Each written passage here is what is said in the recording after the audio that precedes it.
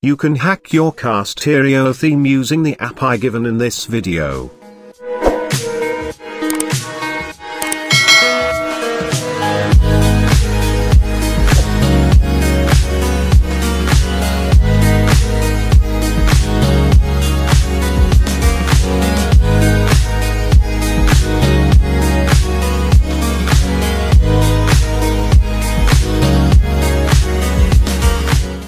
First go to the app and install it.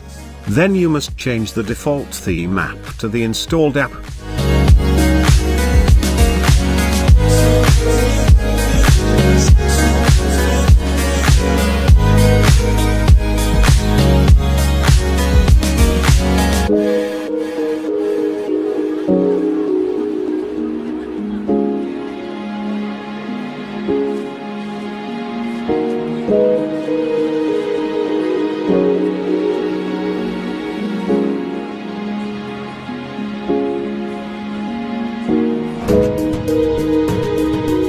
If you did not change the default app settings, when the home button is pressed, the customer launcher will not be run.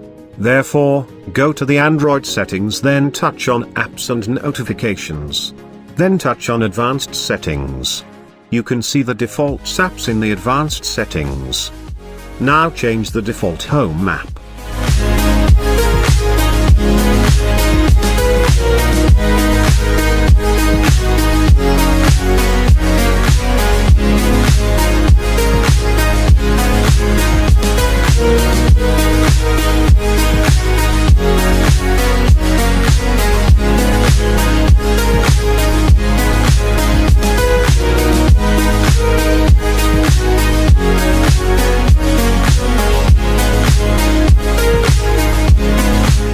You are given three themes by this app and, you can change it as your preference.